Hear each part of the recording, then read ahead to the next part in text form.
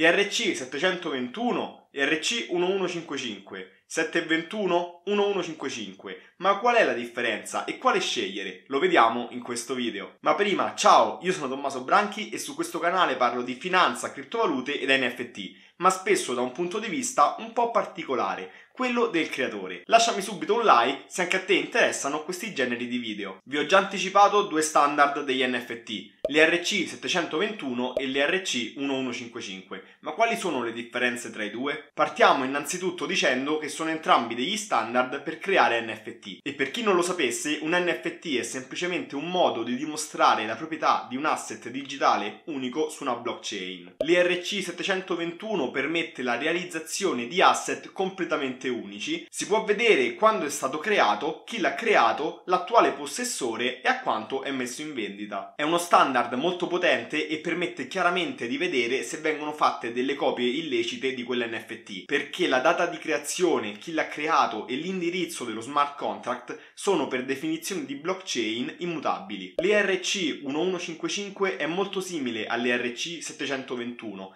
anche perché anche lui permette di creare degli asset unici su una blockchain. La particolarità però qui risiede nel fatto che l'ERC 1155 permette anche la creazione di asset non per forza unici. Lo so, detto così potreste non capire, anche perché l'NFT è per definizione unico ed è tra l'altro non fungibile, non fungible token. Quindi un NFT non può essere scambiato con nulla di equivalente. Con l'ERC 1155 il concetto va approfondito un pochino di più in profondità. Pensate di voler replicare un gioco di carte collezionabili come Yu-Gi-Oh! E prendiamo una carta specifica, Mago Nero. Già solo per essere un gioco di carte collezionabili, una stessa carta deve avere più copie e queste copie devono essere possedute da più persone contemporaneamente. E per replicare questo concetto in blockchain si può utilizzare il contratto ERC 1155 che permette di creare più copie dello stesso NFT. Questo manda un po' in confusione le persone perché se esistono 10.000 copie dello stesso NFT, questo per definizione non è più unico ed effettivamente è così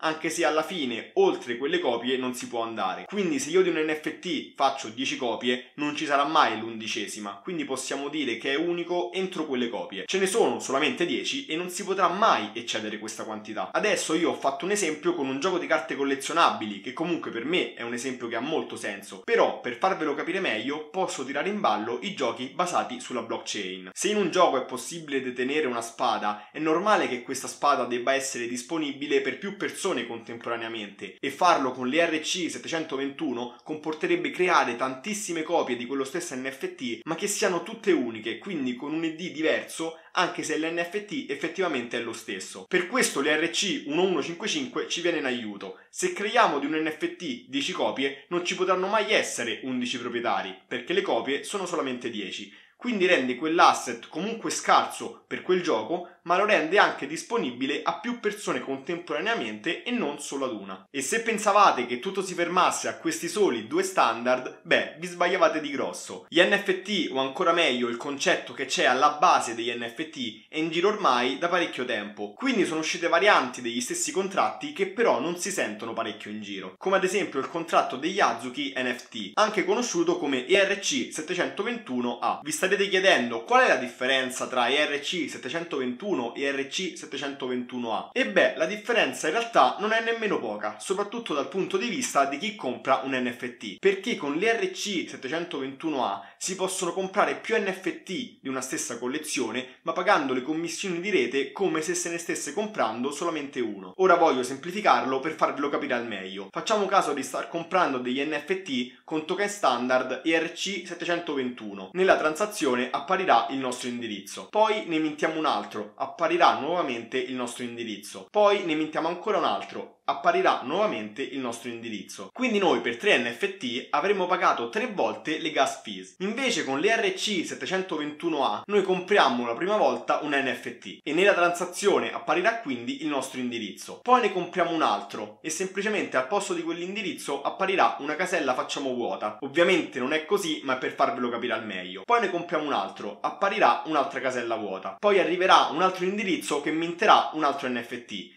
quindi alla quarta transazione non apparirà più una casella vuota come se stessi comprando io, ma apparirà il nuovo indirizzo. Questo nuovo indirizzo minterà un altro NFT e quindi sotto di lui un'altra casella vuota e così via. Quindi mintando degli NFT sotto ERC 721A si pagheranno le commissioni di rete su più NFT come se se ne stesse comprando solamente uno. E diciamo che in blockchain come Polygon, dove le gas fees sono di qualche centesimo, poco importa. Ma per blockchain come quella di Ethereum, dove attualmente per mintare un NFT di 50 euro si spendono in totale 200 euro divisi in 50 euro il prezzo dell'NFT e 150 euro le commissioni di rete, questa tecnica in realtà è molto vantaggiosa per chi compra. Un altro token standard che in realtà è molto meno conosciuto di questo ERC 721A è l'ERC 721R, dove la R sta per refundable, quindi per un certo periodo di tempo è possibile richiedere indietro i soldi che si sono spesi per quell'NFT come fosse una sorta di rimborso. Adesso io non voglio toccarla dal punto di vista da sviluppatore perché in realtà se un progetto NFT ha bisogno di fondi vendendo degli NFT appunto per poi poter realizzare quello che il progetto si è prefissato, come può essere un marketplace, un metaverso o qualsiasi cosa di questo tipo che comunque ha bisogno di un finanziamento alle spalle, in questo caso sotto forma di vendita di NFT, non è proprio il massimo che chi compra entro 30 giorni può richiedere questi soldi indietro, perché dal punto di vista di noi che vendiamo,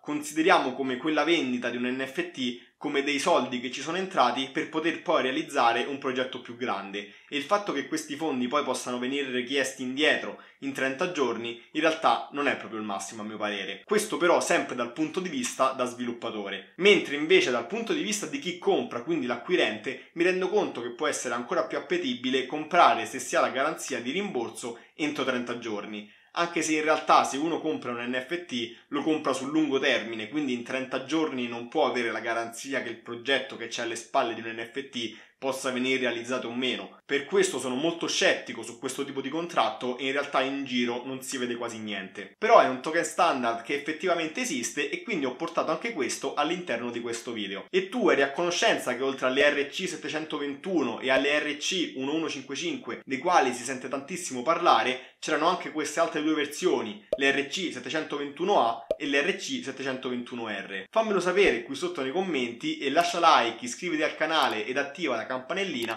per non perderti nuovi video sempre inerenti a questo mondo. Io ti saluto e alla prossima, ciao!